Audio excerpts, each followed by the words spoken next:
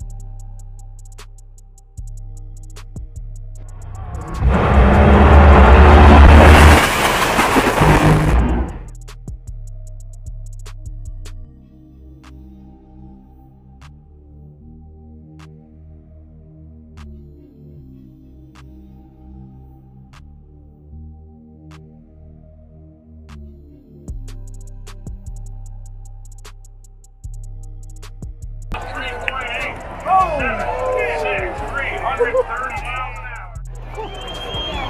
John Force's season comes to an end in explosive fashion. Watch it again. Watch the peak machine. I'm telling you, it didn't look like it had a silver on, didn't look like it had a problem, didn't look like anything until it looked like that. Up close and personal. Look at that. that okay, might have had a silver on just before it went, but I'm telling you, it was like click, bang.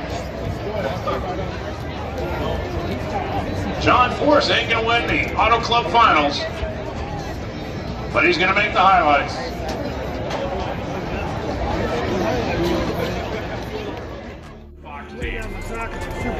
And our guys down in the truck.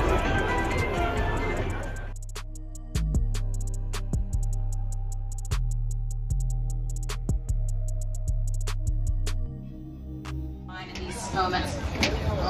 You know, I that's where I came from. Being on fire and explosions. I've lived it. I know the drill. But I had my daughter went earlier today, and that means so much to me. And Robert, you know, he's like my best friend, and I want him to win. He's still in this fight. It ain't over. The Cap's got a good hot rod, and and uh, uh, uh, we we got to hope that it goes the other direction. But you know, in the end, we got, we got to walk away safe. And uh, uh, I've done that. I walked away safe. Uh, safety support. These people are right there, sticking their hands in the fire just to get me. And uh, we're to win this thing. Okay, we're to win this thing. And we're to go down swinging. Boys, the emotion of the day is deep appreciation for the NHRA safety support. Pulled him out of spots like this, lots worse than this, a number of times over the last 35 years.